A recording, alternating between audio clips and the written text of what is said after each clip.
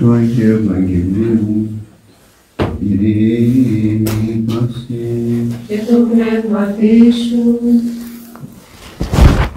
Εκ του κατά Ιωάννη Αγίου Ευαγγελίου το ανάγνωσμα πρόσχομαι. Δόξα Συ Κύριε, δόξα Συ. Είπεν ο Κύριος προς τους ελιθώτας προς Αυτόν Ιουδαίους «Εις κρίμα εγώ εις τον κόσμο του τον ήλθον, ή να ημί βλέποντες βλέπωση, και οι βλέποντες τυφλοί γένονται». Και ήκουσαν εκ των Φαρισαίων τα αυτά, οι όντες με αυτού και είπαν αυτό. «Μη και εμείς τυφλοί εσμέν». Είπεν αυτής ο Ιησούς, «Ή τυφλοί είτε ούκ ανήχετε αμαρτίαν, νη δε λέγεται ότι βλέπομεν, Ιούν αμαρτία ημών μένει. Αμήν αμήν λέγω ημίν, ομοί εισερχόμενος δια της θύρας, εις την αυλή των προβάτων, αλλά αναβαίνουν αλλά χώθεν, εκείνος κλέπτης εστί και ληστής. Ο δε εισερχόμενος δια της θύρας, ποιμήν εστί των προβάτων. Τούτο ο θυρωρός ανοίγει, και τα πρόβατα της φωνής αυτού ακούει, και τα ίδια πρόβατα καλεί κατ' όνομα, και εξάγει αυτά. Και όταν τα ίδια πρόβατα εκβάλλει, έμπροσθεν αυτόν πορεύεται και τα πρόβατα αυτό ακολουθεί, ότι είδαση την φωνή αυτού, άλλο τρίο δε μη ακολουθήσωση, αλλά αφεύξονται από αυτού, ότι ουκ είδαση των αλωτρίων την φωνή, ταύτην την παροιμίαν είπεν αυτής ο Ιησούς, εκείνοι δε ουκ έγνωσαν τι να είναι, αελάλη αυτής, είπενουν πάλιν αυτής ο Ιησούς.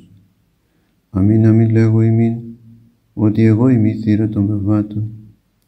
Πάντες όσοι ήλθον πρόεμου, κλέπτε εσύ και ληστέ, αλλού κήκουσαν αυτόν τα πρόβατα. Εγώ είμαι η θύρα, διεμού εάν της εισέλθεις σωθήσετε και εισελεύσετε και εξελεύσετε και νομίν ευρύσει.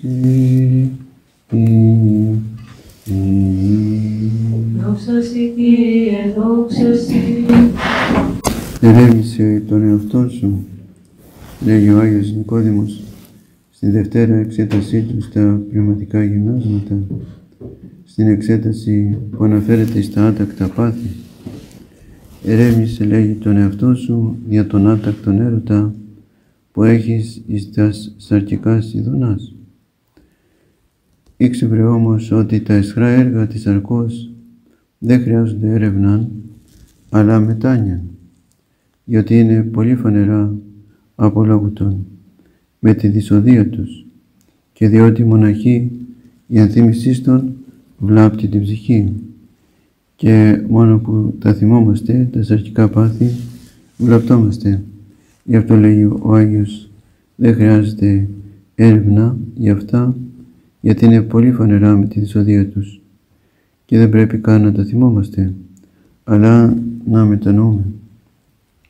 Λοιπόν, εξέτασε μόνο τον εαυτό σου για την επιθυμία που έχεις στο να δίδεσαι στις τρυφές, στα φαγοπότια, στα ξεφαντώματα, τα οποία στην αρχή φαίνονται ότι είναι συγνωστά και συγκεχωρημένα την πρώτη φορά, αλλά με την πολυκαιρία τελειώνουν πολλές φορές σε μεγάλες αμαρτίες και πρέπει να το λιγοστεύσεις όσο μπορείς.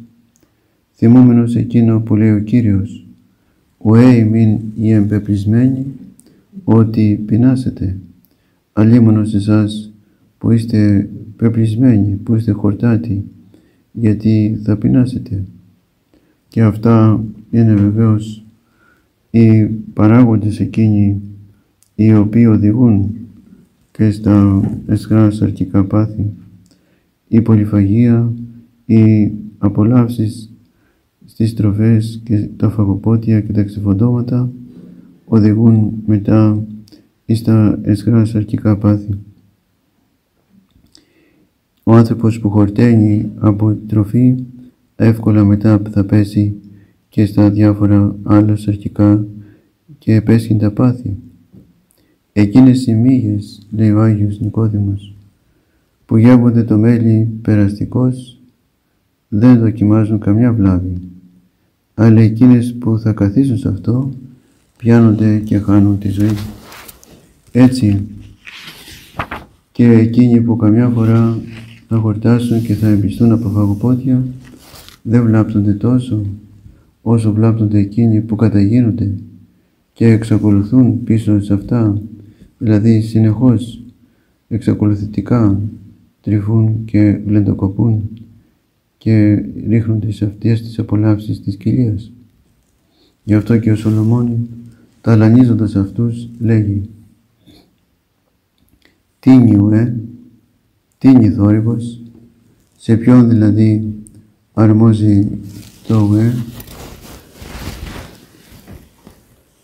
ποιοι είναι αξιολύπητοι, ποιοι υποφέρουν, ουχή των ιχνευόντων που πότε γίνονται, δεν είναι αυτοί που ψάχνουν εκεί που υπάρχει η νοποσία. Σε αυτούς αρμόζει το ουέ, αυτοί υποφέρουν και βασανίζονται. Όθεν στην υπόθεση αυτών των φαγοποτίων, πολύ δύσκολο είναι το να κρατηθεί κανείς μόνο στα όρια των συγνωστών αμαρτιών και να μην περάσει στις θανάσιμες αμαρτίες. Ξεχωριστά από αυτό, το να περνά κάποιος τη ζωή του σε αυτόν τον κόσμο με φαγοπότια και με χαρές και γέλια είναι σημείο απολίας, όπως λέγει ο Κύριος. «Ουέ μην οι γελώντες νυν, ότι πενθήσετε. Αλλήμον σε εσάς που γελάτε τώρα, γιατί θα πενθήσετε θα χάσετε την αιώνια χαρά και μακαριότητα. Και αληθινά, είναι μια φοβερή αταξία το να ζητάμε μια αιώνια ευδαιμονία όπως είναι η Βασιλεία του Θεού. Και στο μεταξύ να μην επιθυμούμε τίποτε άλλο παρά το πώς να θεραπεύσουμε το σώμα μας, να αναπαύσουμε τη σάρκα μας, το οποίο σώμα και η σάρκα είναι εχθρός μας. Όχι βέβαια καθε αυτό το σώμα όπως το έπλασε ο άνθρωπος, ο Θεός, αλλά η προσκόλληση στο σώμα και η προσπάθεια να το αναπαύουμε συνεχώς. Δεν πρέπει να αφιερώνουμε τις φροντίδες μας εις αυτός, εις αυτό και να μην έχουμε τους λογισμούς μας προσανατολισμένους στις τρυφές της σάρκας, οι οποίες βάζουν σε αμφιβολία τον η σωτηρία προορισμό μας.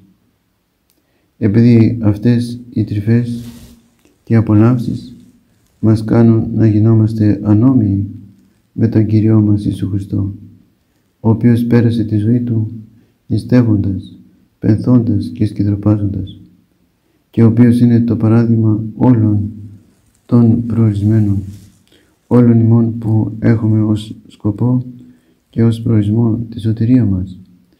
Έχουμε πρότυπο τον Κυριό μας και τη ζωή Του.